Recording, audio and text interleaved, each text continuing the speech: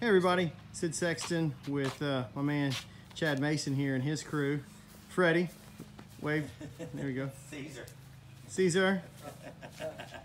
All right, Chad, tell us what you got going on. Uh, we're putting in a fountain um, at our customer's house in Sedgefield, and we got some lights going. We're gonna put two lights on the fountain.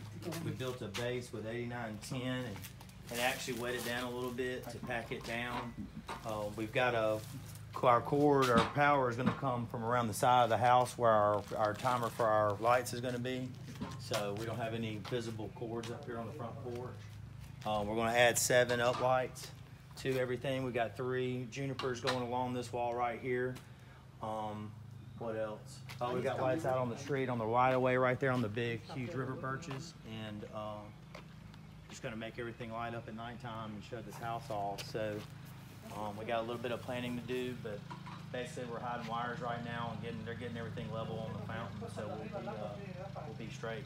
So Awesome. that's pretty much it. Awesome. Well, I appreciate it. So, this is a real good example of, you know, this is an existing customer. We did some stuff in the back in the backyard, and uh, you know now they just wanted to kind of light up the the front and, and have it look a little nicer.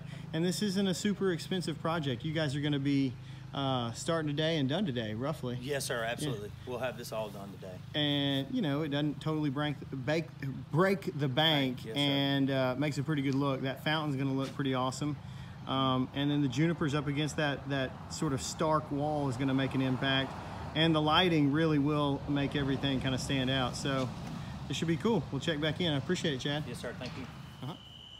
Okay, so here we are checking on that job that we were showing you earlier.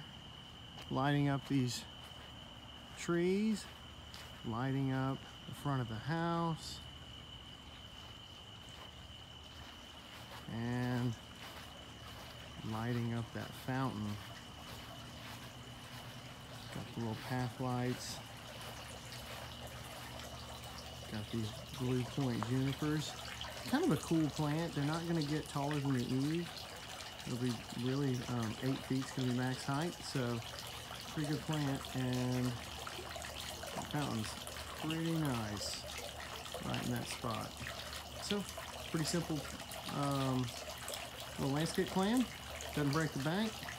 Lighting uh, adds a lot to it. Hope you liked it.